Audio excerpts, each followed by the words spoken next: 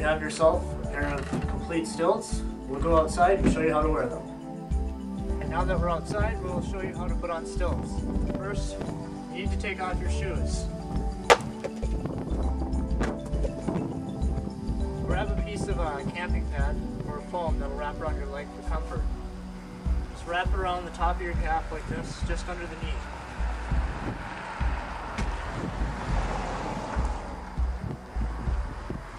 Place your foot through a, uh, a car tie down, trailer tie down. Put that around the uh, around your calf, right below the knee, right about here. Tighten it up. Just adjust it so it's comfortable.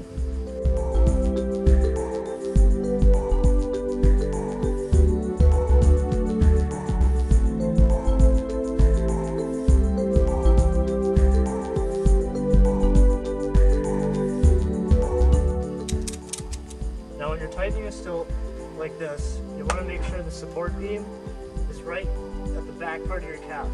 That's where it's most comfortable and you get the most balance. Just like, just like this, right in the back here. And the tighter you have them, the easier it is going to be walked, but you don't want them so tight that your legs get numb from cutting off your circulation. That's not good. Alright, when you have them tightened up and you're ready to start walking, grab onto something firm like the house or the side of the ladder. Just stand straight up, hold on to something so you don't fall. Feel how tight they are. If they're too, too loose, tighten them. If they're too tight, loosen them. Do that now. Now they feel good.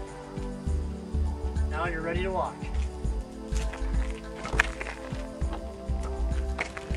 Fall, just grab something on the side of the house. Just practice walking back and forth. Nice and easy. Just like that. If you're a first time walker and you need help, it's a good idea to have an assistant with you in case you fall.